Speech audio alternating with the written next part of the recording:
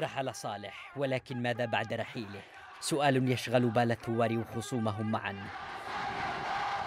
فيما يضع شباب الثورة أهدافها نصب أعينهم ويحرسون مبادئها بجمرات قلوبهم. يذهب خصوم الثورة لإلقاء اللوم كل اللوم على شبابها. تسع سنوات التقت فيها أعقاد الثورات المضادة وتحالفت معها مخاوف الإقليم لوأد هذا المولود المختلف عنهم والذي ملأ قصورهم رعبا من رياح التغيير. قال المشككون بالثورة كانت مجرد انفعال غاضب وصموا آذانهم وأغمضوا أعينهم عن سلمية الثورة ومقاصدها النبيلة بل وذهبوا للنيل منها. وهتفوا أنتم من أدخلتم الحوثي إلى ساحات الثورة. فيرد شباب الثورة دخل الحوثيون ساحة التغيير بصنعاء تحت لافتة السلمية ونداء التغيير وإن بيتوا سوء النوايا لكنهم دخلوا وفق قانون الثورة لا قانون العصابات والتزموا بميثاقها الأخلاقي حيث لا سلاح ولا عنف أو هكذا بدا لهم. لكن صالح سلمهم دولة وسلاحا ظل يجمعه طيلة ثلاثين عاما ليحاربوا به اليمنيين لسنوات طويلة وأدخلهم العاصمة فوق الدبابة وتحت غبار الحرب نكاية بالثورة ومحاولة لإجهاضها.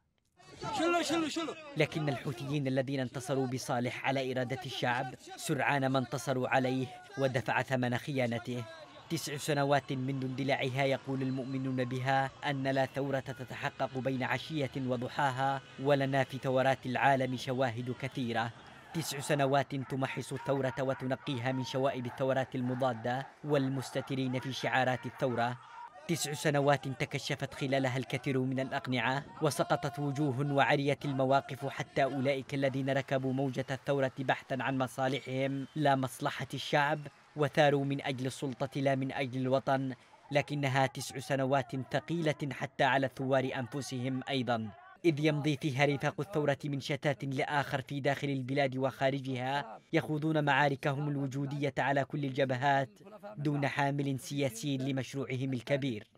وقد باتت الأحزاب والشرعية الانتقالية التي كان يفترض بها أن تكون جسر العبور نحو مشروع الثورة تثقل خطاهم وأحلامهم. كان وصول هادي إلى السلطة نكسة حقيقية للثورة رغم أحاديثه المتكررة عن التغيير وعن اليمن الاتحادي لكن لا شيء تغير.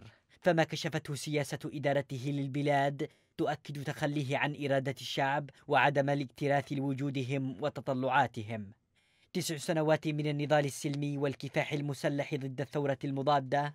حصرت خلالها المقاومة وكبل الجيش وصودر عزم اليمنيين في الدفاع عن بلدهم نتيجة ذهول الشرعية في الرياض وتحولها إلى حقل تجارب للأنظمة الطارئة. ترتفع النداءات مطالبة بتحول الثورة إلى كتلة وطنية أو كيان سياسي يعبر عن الثورة ويلملم حلم اليمنيين. يعيش اليمنيون اليوم مأزقا كبيرا. الشرعية باتت غير قادرة على إدارة ملفات التحرير والأحزاب مصابة بانتكاسة حقيقية. والثورة تم تحميلها كل الكوارث التي تشهدها البلاد. والميليشيات تخوض معارك الاستحواذ والسيطرة ولا سلام معها إلا وفق منطقها هي. فهل يمكن لقوى فبراير اليوم إعادة الاعتبار لفعلها الثوري وإثبات حضورها السياسي؟